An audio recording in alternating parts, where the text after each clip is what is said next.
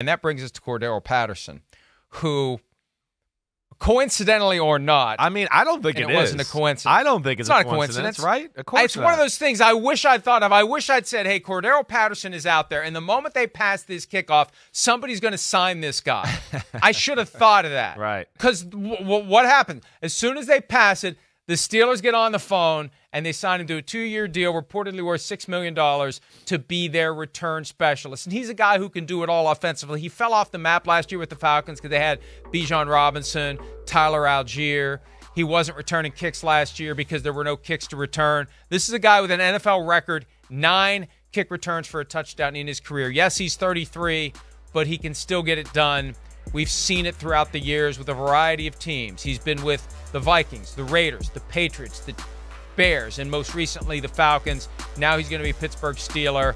Another example, you know, Jerry Jones talks about going all in, Pittsburgh Steelers going all in. And this is going to be a pivotal part of the game now. And the first move the Steelers do right out of the gates is they go out and they get themselves one of the best return specialists who's ever lived. Yeah, I mean, yeah, it, feels like they were just kind of waiting in the weeds for this. Get a feel, is this going to get passed? If it definitely is, hey, Arthur Smith, you know, you used to coach Cordarrelle Patterson. You think he'd like, be good for us? Oh yeah, he would. Okay, going to be great for the kick return. Let's sign him up.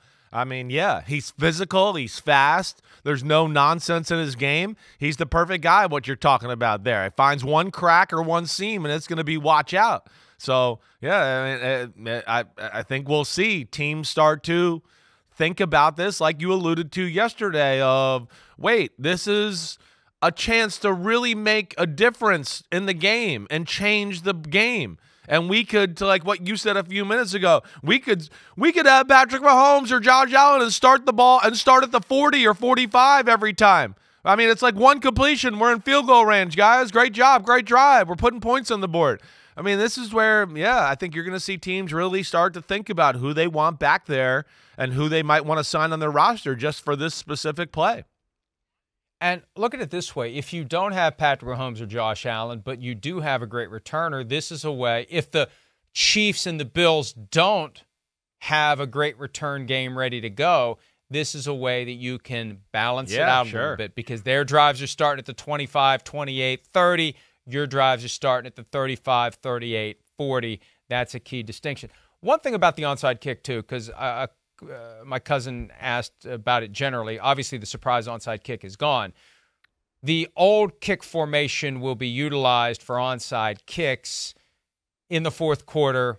You can do it twice. You have to be trailing twice per game. That's it. But it's not like all of a sudden those things are going to be recovered on a regular basis. They're just not. It is it is a thin and flimsy opportunity for a team that is trailing to try to retain possession because of what they've done with the onside kick and the kick formation in recent years to make those collisions. Because those are closed space collisions but those are ridiculously violent. I remember chris collinsworth from time to time complaining about how difficult that play was when he was playing the impacts that you're talking Well, about you're watching as the ball and the- guys are running the- at you full speed. You and know, and they're trying to hit you as hard as they can to get the ball to pop out Right. if you do get your hands on it. So it's a brutal play. It always has been. It stays in the game twice per game if you're trailing in the fourth quarter under and where the where does it go? alignment. Explain that to everybody, right? They're not going to kick, so they're going to move the lines back to where the kick the kickoff. You go is at, back to the old you go back way, to the 35. right? Okay, Yeah, you go I just to want to make that clear. I didn't know that either. Yeah. I haven't I didn't read that part, so I'm not even sure if I I realized that. Well, and I need to go ahead and I'm as I'm saying it, I'm I, yeah, I'm having that moment of boy. I, I think sure I know, but I'm not right. sure. I hope Right. this is right. I'll just do the Colin Cowherd and act like it is right, even if it's 180 degrees wrong. Oh, I'm sorry, Colin Cowherd catching a stray here today.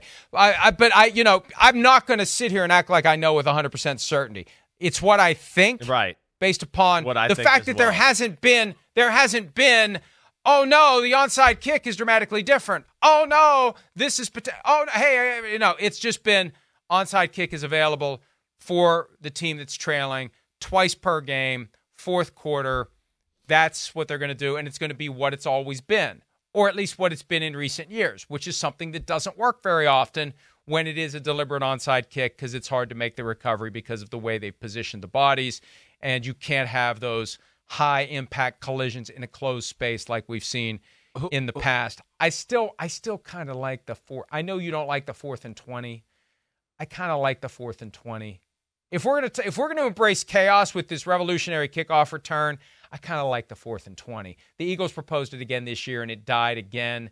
I kind of like it. And maybe maybe in future years the tinkering will involve that. Maybe, maybe. I'm not I haven't come around to that aspect yet, so I'm not I'm not ready to do that yet. I'm not, but uh, you know, at the very at the very least I'll I'll take the victory of at least we got kick returns again. Hi, it's Mike Florio. Thanks for watching PFT on YouTube. Hit subscribe for the latest news and analysis from Pro Football Talk.